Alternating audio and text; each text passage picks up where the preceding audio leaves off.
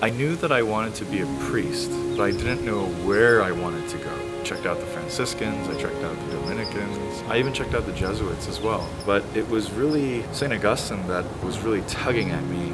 And I fell in love with the Augustinian charisms on community life, seeking truth, the contemplative side, the active side. You know, I really got to know these great guys uh, all throughout North America.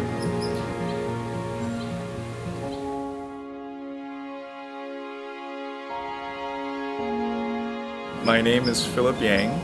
I was born and raised in Southern California. I graduated from UC Irvine with a history degree. I got involved heavily in a Bible study group at my local home parish in Anaheim, and I think that's where I found my calling. I'm pretty sure that's where I found my calling.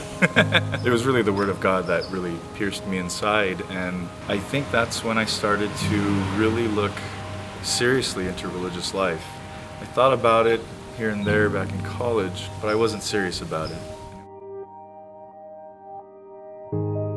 I've been with Augustinian Formation in Chicago since 2008. My life with the Augustinians is what I want to do, and it's something that I discerned while I was studying philosophy.